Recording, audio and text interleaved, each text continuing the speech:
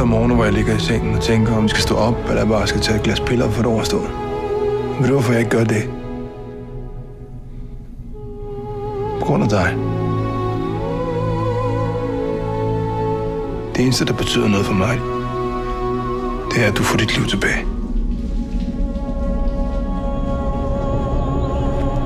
Hvor meget ved du om kostskole? Jamen, det er vel det, man sender sine børn hen, når man ikke gider være sammen med dem. Kimi Lassen, hun var vidne til dobbeltmord tilbage i 1994. Jeg tror måske, det var elever fra Griffenholm Kostskole. Dit liv pram.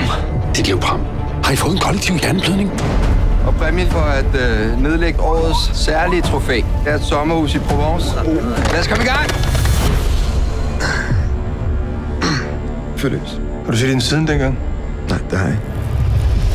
Hvad vil vi så nu død? Eller gift. Er der en forskel? Jeg er her for at hjælpe dig. Jeg gør dig ikke noget.